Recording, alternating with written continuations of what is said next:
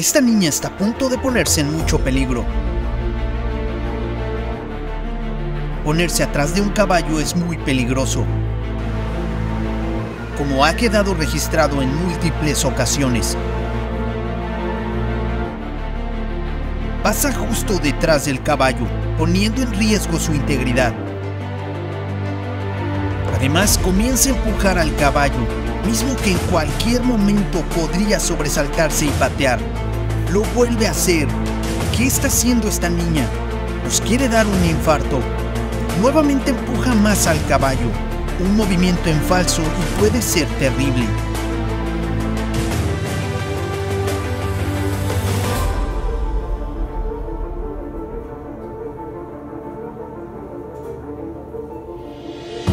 ¡Wow! Lo que quería era subirse al caballo.